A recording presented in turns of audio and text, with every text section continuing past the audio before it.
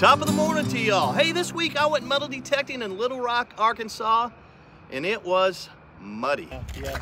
Metal detecting out there was like listening to a Sleepy Joe speech. A whole lot of confusion and a lot of slip-ups. Hey, if that last joke didn't send you packing, God bless you. God bless Texas, and I hope you enjoy the video. So I just dug this bullet, and I'm no Civil War expert, so Ram detecting said, you got something? I was like, it looks like a spread out three ringer. He said, let me see that. So I showed it to him and he said, oh my God. The ringtail sharps. So these are like extremely rare, especially for this area. I think probably out of the 3,000 bullets we've dug out here, three have been found. All right. It's a little jumpy, but it's in the range.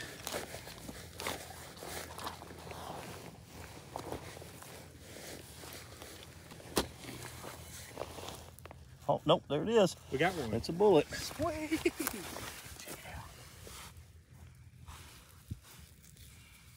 Nice. There it is, another three ringer. Oh no, wait. What what's that? Let's check it out. That's been rammed real hard. Oh, has it? Okay. Yeah. I got excited. I thought I had a really rare silver. No, no, man. Welcome to Ram Detecting. there you go. Is that where that came from? There's it. No. Damn, I can't win. I got a bullet, guys. Look like Jeremy got a bullet.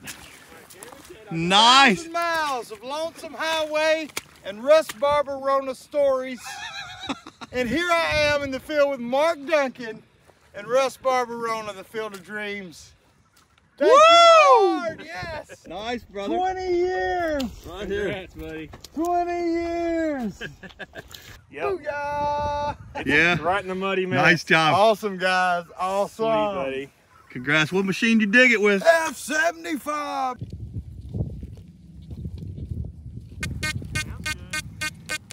Yeah. Calling it. Bullet.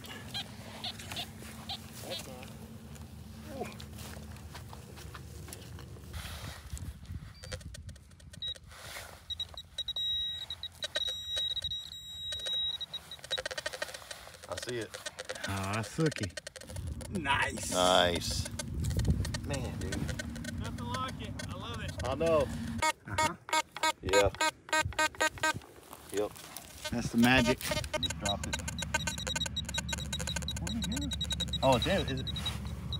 It's right there See in his it? hand. Check Yep. it out. nice. Hand. Yeah. Sweet, Awesome, brother. man. Nice. Awesome. Nice, man. I'll tell you, the T2 with that 12 coil DD, man, I'll tell you, that coil's great because I run it on the T2, you run it on the F75, you run it on the Time Ranger Pro. I mean, you can't beat that coil. It's Absolutely. That's awesome. it's fast, it's a good coil. Works really good in iron, too. It does. Nice bullet from the American Civil War. Well done, brother. So, he's had to Yeah, I'm gonna chase it. It's a little higher. Normally I've been down in the like 74 to 79. I see it uh, double impact. right there. See it? Yes. Nice. 160 years ago, It's crazy, isn't it? a Civil War soldier was out here. Yeah, that's the coolest part. It's been lying there, waiting for me. And my T2, look at that. It's beautiful. It's awesome. Love it. Now, everybody got a bunch of bullets, man.